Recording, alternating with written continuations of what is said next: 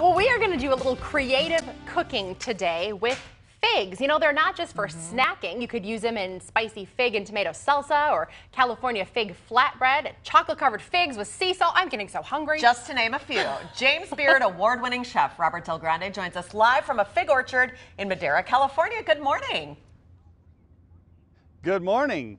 Yes, I'm here in California in a gorgeous fig orchard. Oh, I know. Where they it, it looks the, like grow a, the best figs in the world. Yeah, it looks like a great place to be. Let's talk a little bit about some of the recipes because I know a lot of us just grab figs right out of the bag to snack on. Sure. Oh no. I mean, they're they're the perfect snack, obviously, but you can cook them a whole bunch of different ways. And I got a couple techniques for you with great California figs and just a kitchen knife. If you one of them is just to start by cutting the bottom off so they stand up. And then you just put a little salt and pepper and roast those in the oven till they're nice and tender and you have a great side dish for like any meal. Very, very delicious. Or if you like, you can cut them in half, one of my favorites, and you get a little kind of platform for flavor where you can put, you know, a little prosciutto or goat cheese and you have an instant appetizer that's just so tasty and more savory. Or, you know, if you like, and just with a kitchen knife, you just keep going, make little slices, and now you have a nice little topping for all sorts of stuff. We talked about flatbread, possibly pizza with figs on the top. And if you love pizza, you add California figs, it's going to get even better. Or still with just a knife, very simple. You can cut them in a little bit of dice, fairly nice and easy.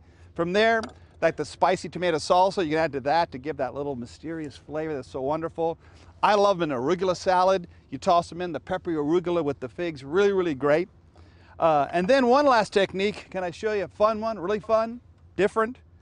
Uh, I like to take a nice ripe fig and just smash it until it turns really, really creamy, like a little fig puree, fresh, all the flavor there. You could stir that into, I love it in buttermilk dressing for a salad for like an exotic fruity flavor. Or if you're a barbecue nut, stir it into your favorite barbecue sauce for that little elevated fruit flavor. You can base it on ribs. It can be done with fresh figs or even California dry figs works in all the recipe. All of them just really tasty. I'm going to admit I have never cooked with a fig. Do we need to peel it, cut anything off of it? And once we've cut it, how do we store it?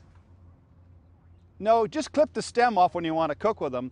I usually leave them on the kitchen counter so I can eat them all day long. I like them in the refrigerator too with an icing kind of cold, so there's no real trick to it. They're very easy to keep. And the dry ones, just keep them in your cupboard. They'll, they'll last for the whole year. Always ready to eat. All right, I feel like And if should... you want, you know, something really fun. Yeah. Yeah, go ahead. Yeah, if you like something fun, dessert, how simple, either a dried fig or a fresh California fig, just dip it in chocolate. Couldn't be any better. I feel like we should call you Dr. Fig because I was reading your bio. You have a PhD in biochemistry. How did you move into becoming a chef? I was hungry. I think that was it. No, and I love food. I love food, and when I got every time I have something delicious, you know, I just I got more attracted to it. But uh, like figs, all right, California. figs, they're, yeah. CaliforniaFigs.com. Thank you so much for joining us, Chef. Thank you very much.